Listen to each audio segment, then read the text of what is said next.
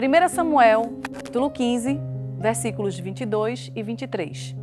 Porém, Samuel disse: Tem porventura o Senhor tanto prazer em holocaustos e sacrifícios, quanto em que se obedeça a sua palavra?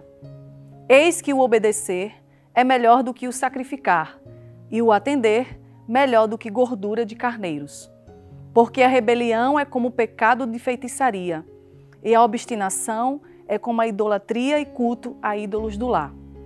Visto que rejeitaste a palavra do Senhor, ele também te rejeitou a ti, para que não sejas rei. A obediência é a virtude principal dos filhos.